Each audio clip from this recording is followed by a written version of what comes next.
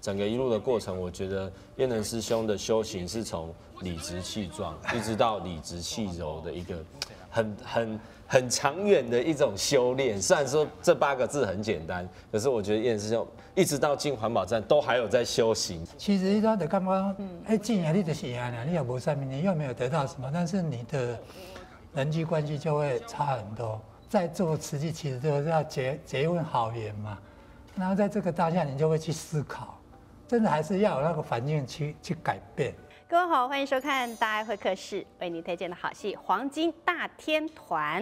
有一句俗话说啊，“细喊掏斑不，大喊掏看屋”。为什么呢？因为就会觉得说，一个小孩子哦，呃，小时候的行为端正，真的是做父母的、做师长的，要非常非常的谨慎来调教哦。我们今天呢，邀请到这三位来宾，首先来欢迎的是我们的本尊施彦腾师兄。主持人啊，全球大爱的观众大家好。继续来欢迎的是马俊霖。哎，主持人好，全球大爱的观众朋友大家好，我是马俊霖。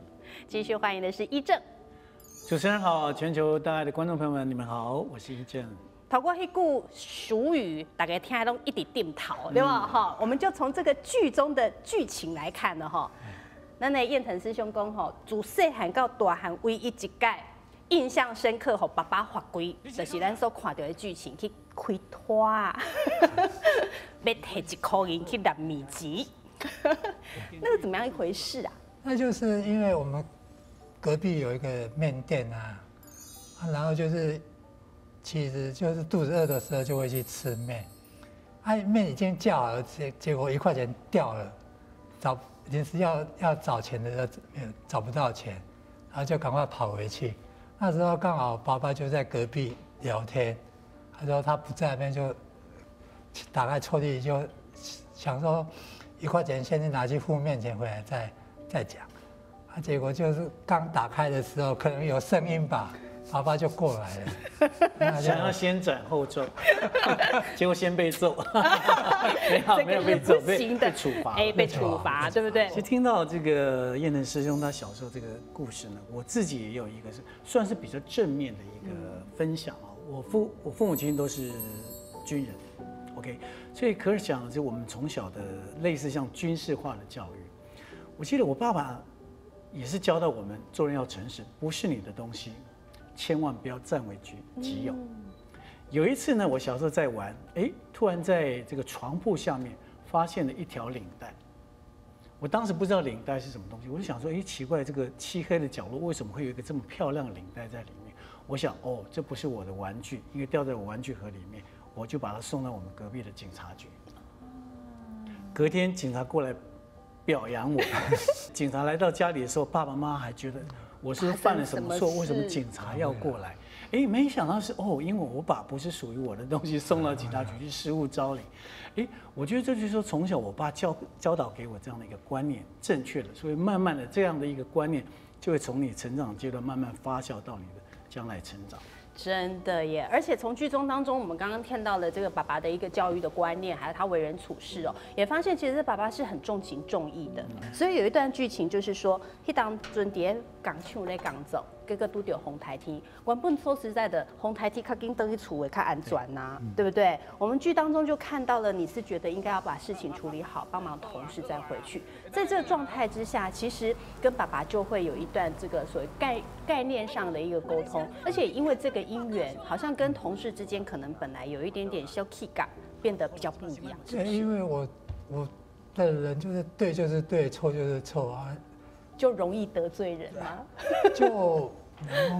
比较难亲近，就是会去把那个事都理理得很清啊。嗯，哎，啊啊，他又刚好是比较喜欢放大自己的人。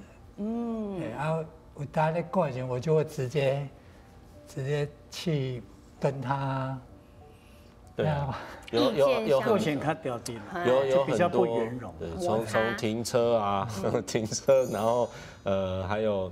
呃，工作啊等等很多事情，但是我觉得从扮演燕腾师兄，从他年轻呃退伍回来跟宝彩师姐结婚，然后一直到他在工厂做事，然后一直到那个环保站，整个一路的过程，我觉得燕能师兄的修行是从理直气壮，一直到理直气柔的一个。很很很长远的一种修炼。虽然说这八个字很简单，可是我觉得燕师兄一直到进环保站都还有在修行，这样一直到现在可能也都还有在修行，所以我觉得还蛮很不简单的。很不简单因为其实哦。真的是进来慈济的因缘啊，因为那时候的一个，其实一般的感觉你盖进啊，你嘛是输啊，因为你吃了人人和啊，嗯，哎进啊你就是赢了，你也无上面，你又没有得到什么，但是你的人际关系就会差很多啊。各个其实我们在做慈济，其实就是要结结一份好缘嘛，然后在这个当下，你就会去思考，真的还是要有那个环境去去改变。俊礼，你自己在饰演他的这个阶段的时候，有没有觉得，哎、这个时候的师兄，或者是说应对到自己啊，你是属于比较像前期的他，还是后期的他？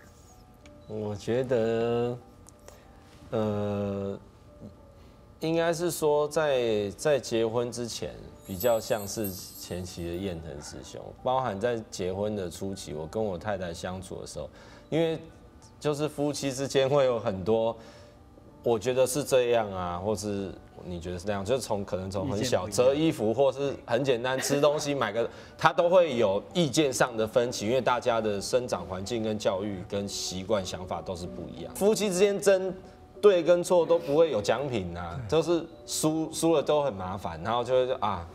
那下一餐是不是又又对啊？两个人又都不讲话吃饭，这样就哦会很辛苦，所以理直气壮是不行的。我们要换一个换一个想法，就相处之间要就是哦，也有可能我的意见你参考看看啊，这样说不定是有可能，不然你可以上网去比较一下大家的意见，就是不要就是不能把话讲的那么硬，讲的那么死这样。我们这个也是为人夫、为人拔的人，你们也有同样的感受，对不对？对，感受很深刻嗯。对，其实真的在教育过程当中哦，呃，夫妻双方一定都会有各坚持己见的。嗯。但最重要就是良性的沟通了。嗯，我觉得只要出发点都是为小孩子好，其实很多东西是可以去慢慢的去，我们不要讲是妥协，是找到一个对小孩子最适合的方式。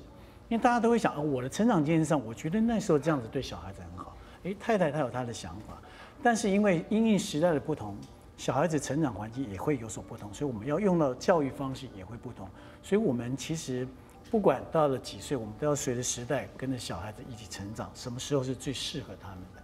我相信你从小学习的观念一定会遗传到你小孩的这一代。所以我来问一个问题好了，觉得如果跟自己的太太、另一半有意见相左，觉得先试好，收获会比较大的，请举手。哎呀，给大家鼓励鼓励，送给你我他一句金丝语：要别人对你笑之前，自己要先对他笑。啊，我觉得这真是一个很棒的一种互动，对不对？对然后这个都是各位在生活当中实际修炼来的，不仅仅是对家人也好，对朋友、对同事，如果相同的心态去运用，应该是和会非常非常的多，对不对？明天有更精彩的黄金大天团，请大家持续收看，感恩三位的分享，感恩，感恩，谢谢，谢谢。感恩您收看今天大会客室，我们下次见。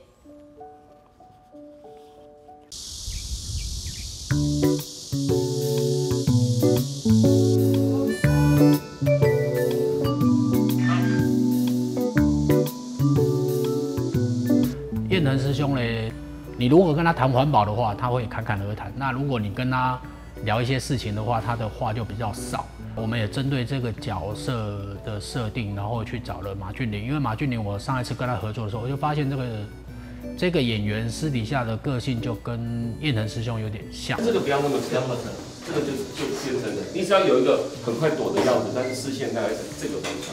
问号吧，来试一遍。因为一开始的燕腾师兄，其实他是比较属于那种憨憨的，佩香啊，爸爸找到新的 TV，这条而已。哦，就是在拍的时候，其实呃，燕腾师兄他一开始其实他带有一点点怎么讲严肃，你刚刚我这人吼，敢会就像插头啊。不会啊，不会插头啊。然后但是我们在拍的途中，就是导演有加一些，就是可能宝彩师姐可能会稍微逗一下燕腾师兄啊，就叫他不要这么严肃啊。两个人之间的感情是非常深厚的。如果你真的要这么夸张的话，就把做就是节奏拖长做的大一点点夫妻两个人正在争论木头的台语，台语怎么来，请您请说。茶桃，哦，我说茶桃。那不是一样？对啊，所以是一样的啊。可是我每次讲的是茶桃，然后他就一定要这是在比例是，好像是我。在学，哦哦，你是在学，我以为在纠正。着学习的心态。燕腾师兄呢，他就是一个彻头彻尾的好人，在不管是工作或是做人处事，其实他秉持的原则都一样，就是他就实话实说，然后呃不懂得拐弯抹角。你无得实话，我一是听你哦，尊重你的卡，所以期待哦，有你的心。我是导演，我是电话你。但是他这个人呢是很良善的，导演的话也会呃调整一些方向，认真的讲一句话，但他不是生气的表述一句话，只是因为他觉得说呃我我很认真的把这事情讲出来，而不是生你的气，我只是说哎、我觉得这这东西就是这样子啊。来来来，为着咱是好朋友啊，我答。这是咖啡，不是酒咩。啊，好朋友要计较遐济啦。来来来来来来来来。就差没有喝交杯了。喂，交杯。